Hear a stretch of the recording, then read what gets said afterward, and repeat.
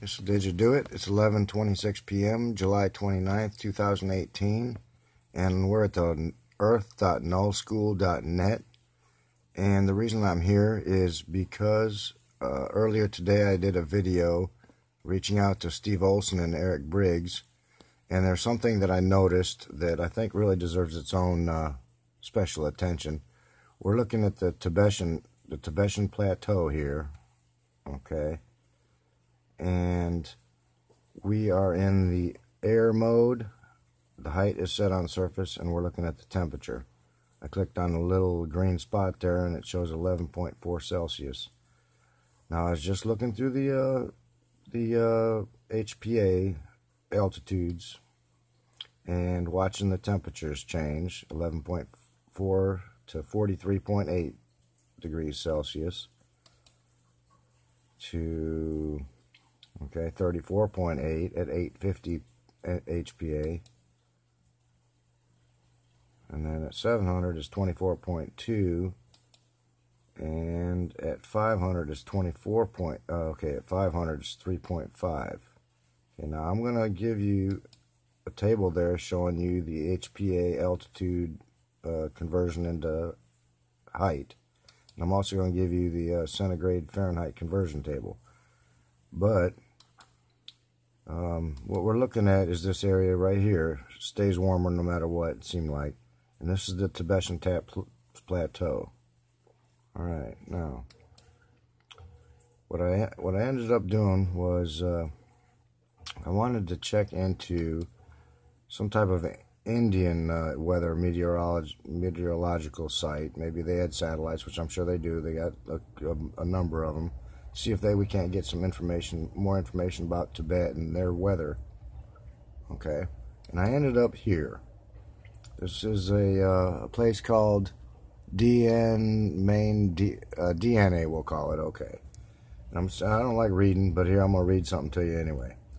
All right, India, which recently launched a record number of 104 satellites in one go, would continue to do so and saturate the orbits a U.S. space expert had told lawmakers, but said it was not a matter of concern. We should not be concerned with the congestion. We should be concerned with not understanding where these things are going and how they are behaving so that we can help businesses and commerce thrive, said Moriba Jah, Associate Professor of Aerospace and Engineering and Engineering Mechanics, University of Texas, Austin School of Engineering.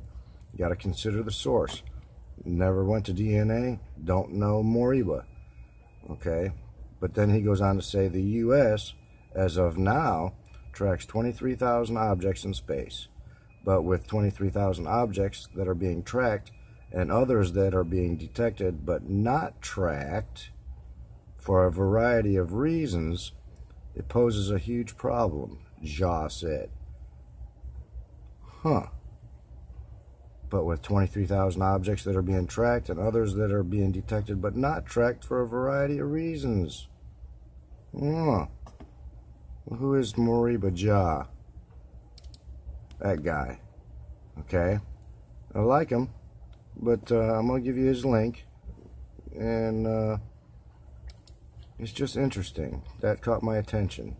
It got me sidetracked from this uh, anomaly here. Now we're at we're back at the Tibetan Tap Plateau. Oh, what a hard word to say. I want to show you something. I want to zoom out on, on the globe. And if you notice, there is nowhere else at 500 HPA, which is about 18,000 feet, I think. There's nowhere else on the whole planet where it's that warm at that altitude. That's it. I mean, those are cooler, colder spots there, the purples. But that's the warmest place on Earth at 18,000 feet or 500 HPA. Look at that. That's a very unique situation going on up there. Okay, the, okay, the plateau, Tibetan Plateau. And this area, let's go check that out. What's up there? Well, almost near Mongolia, huh? There's China. There's China. Yeah, Mongolia, look at that. So, let's see if Mongolia is included in our little uh, situation here. Yes, it is.